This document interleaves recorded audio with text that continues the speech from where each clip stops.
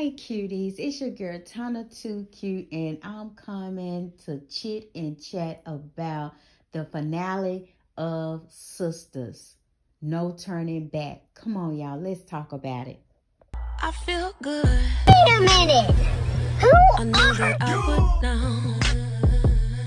Wow. So the episode started out with Maurice. So he is still, you know, on this bandwagon of turning himself in just so that Sabrina can be uh, eliminated from this whole ordeal with him and Q.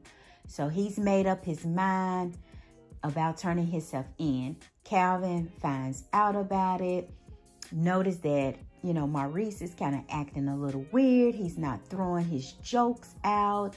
And he finally told Calvin that, hey, he's turning himself in y'all cannot change my mind. So Calvin gets on the phone with Sabrina, letting her know what's going on, and she rushes over to Maurice's and saying, Hey, look, we're gonna go with you. She calls the attorney, and they all go down to the DA's office. So while they're at the DA's office, you know, they still cannot convince Maurice to change his mind. So we're gonna see how this is going to unfold when they come back in October. Because to me, I just don't think that Sabrina is going to be safe. If this is going to be a plot twist to this whole ordeal. I don't know what it's going to be, but I know it's something is going to be twisted about this whole ordeal. But Maurice, you know, they took him away. So we'll see how this, you know, unfolds in the next season. So then we have Danny and Preston. Look, Danny gave the wrong person her pen. And y'all know what pen I'm talking about. Her W pen. Because Preston still has not come to his right mind. Preston think he's somebody else. He think everybody is somebody else. So Preston comes out of the, the, the bedroom and he has on Danny's full airport uniform skirt, blue skirt, black skirt, whatever it is, white shirt. But he got on his cowboy boot. he got on his cowboy boots. So Preston is not with us, y'all. He's just not with us. But you know what? He's playing that role, and it really brought a little humor to their their serious uh, debacle, whatever you want to call it. It was really good to see, you know, that. So Danny's really kind of getting worried. So she called over Zach and to help her, you know, figure out what to do. Zach didn't make the situation no better. Um, he said, fix him some coffee. Um, and just made, you know, light of the situation but Preston didn't even know who Zach was. When she was on the phone with Zach and he was like, Who is Preston? who is Preston? So we're gonna we're gonna see. I think he's gonna be okay. Uh, but it was good to see, you know, them in that scene. Oh, moving on to Pam and Aaron. So they, you know, Aaron had this great idea of helping clean Karen's shop up to prepare it for renovations. So he asked uh, Pam for her assistance and they kind of, you know, working together, you know, to, you know, make things happen. But we're going to come back to this scene in just a little bit.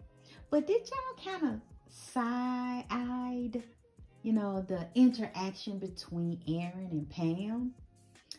Know. I just kind of saw something different in their interaction. So we'll see. But we're going to come right back to this scene in just a minute.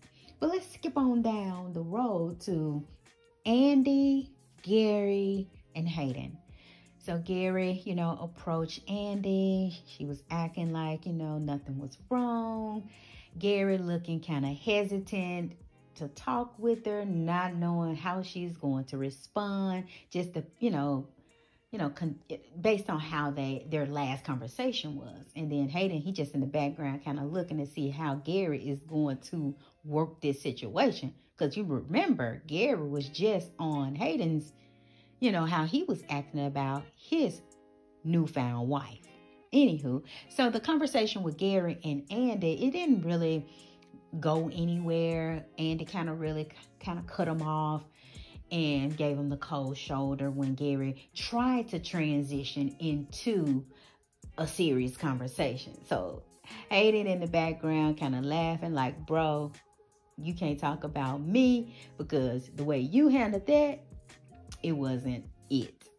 So uh, then Gary said, well, at least I don't I know where my girl or woman is and Hayden he doesn't know where old girl is. She just missing in action. So but that's all on them. Not not nothing too big going on with that scenario. But did y'all notice how everybody mostly everybody was kind of dressed to the nines in this episode. You had Fatima and Zach kind of, you know, dressed nicely. And then you had Hayden and Gary. They both was dressed nicely. And we'll see. I just, you know, thought that just stood out to me.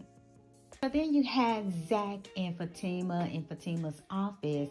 Uh, well, before Zach even entered the office, Fatima was meeting with one of her colleagues at the law office about you know, this child custody case that Zach now wants to, you know, take full custody of his his allegedly son because I still believe that that's not his son. I believe the, the paperwork was altered. But Zach is pursuing it. So Fatima was meeting with this attorney to get more information.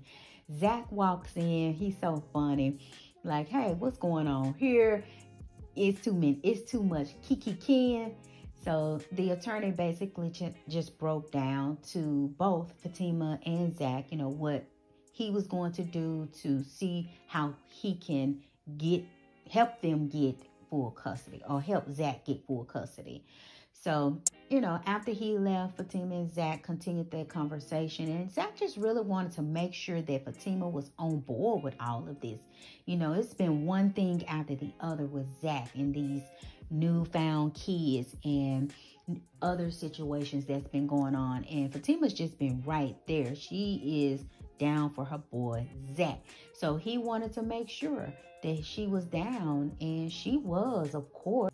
So then Andy kind of appeared in the office with Fatima and Zach. She was really just trying to buy time to allow Gary and Hayden to kind of disappear. So she, you know, hey friends, and you know, just shooting conversation, making up conversation rather.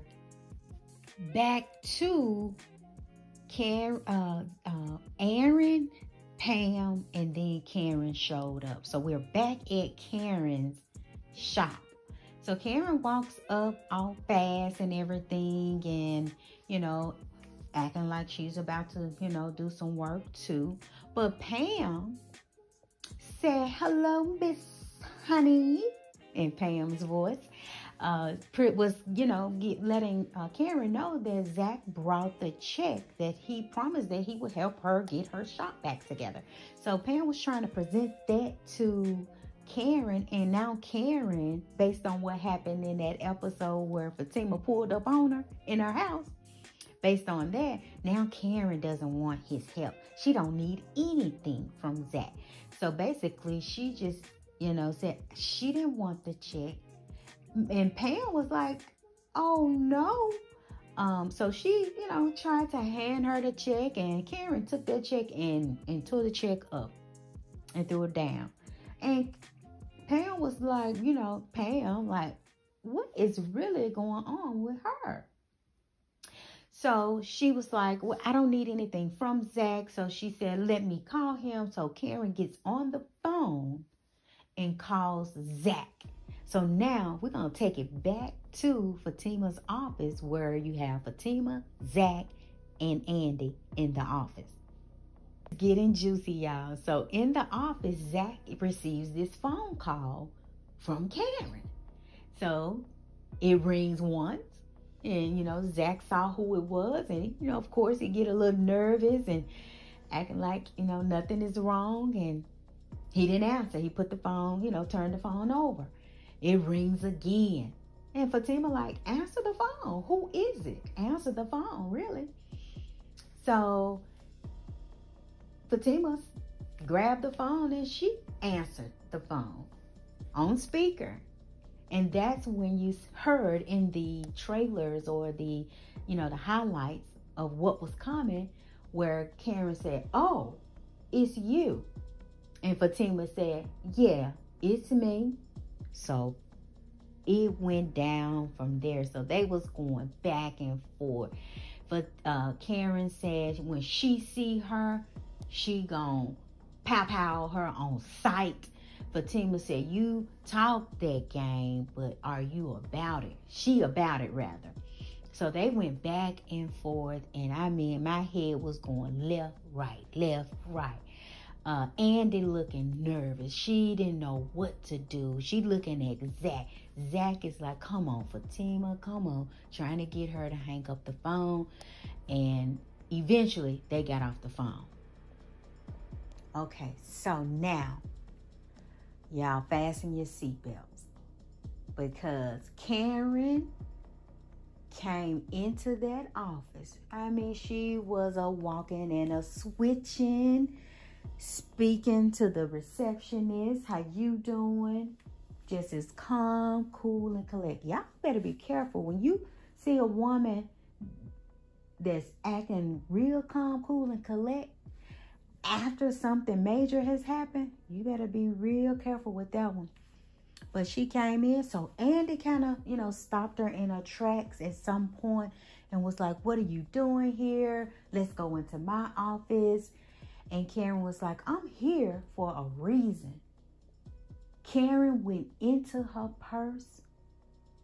But by this time, y'all, Fatima had walked up. Like, you know, what's good? They didn't show her face, but she was like, what's good? Like, I'm coming out too. But uh, Andy was still trying to get Karen into her office, and Karen said she's here for a reason. Karen went in her purse, grabbed her pow pow, and pointed right at Fatima and did not hesitate, y'all. And she pulled the trigger. Boom. When I tell you my mouth was wide open, I mean, I kind of, I reacted to the TV like I was there. I couldn't believe it. She pow pow Fatima. Fatima went down. This by far was the best ending to a mid-season finale that I've ever experienced. Kudos to TP on this one, y'all. I can't wait till October. Look, y'all better like this. Look, I was really into this video. Like it up, hit subscribe, and y'all have a good day on purpose. Bye.